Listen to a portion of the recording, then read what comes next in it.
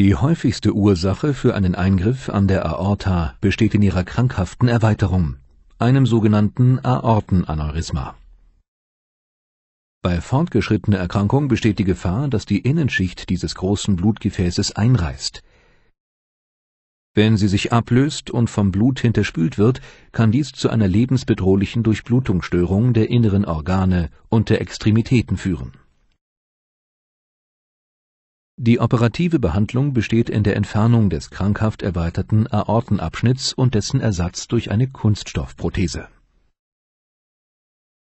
Bei einem Aneurysma der aufsteigenden Aorta kann es durch die Erweiterung ihres Durchmessers zu einer Schließunfähigkeit der Aortenklappe kommen mit einer speziellen Operationstechnik, dem sogenannten David-Verfahren, kann die schließunfähige Aortenklappe in manchen Fällen rekonstruiert werden. Ist dies nicht möglich, muss sie vor der Implantation der Gefäßprothese durch eine Klappenprothese ersetzt werden.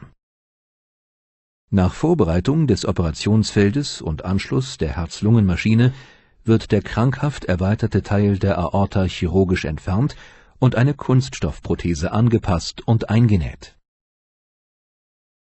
Nachdem alle Nähte gefertigt sind, wird die Herz-Lungen-Maschine stufenweise in ihrer Leistung heruntergefahren und das Herz übernimmt wieder die volle Pumparbeit. Nach sorgfältiger Überprüfung des Operationsergebnisses wird der Operationszugang verschlossen. Der Patient wird noch schlafend auf die Intensivstation gebracht, wo er später aus der Narkose erwacht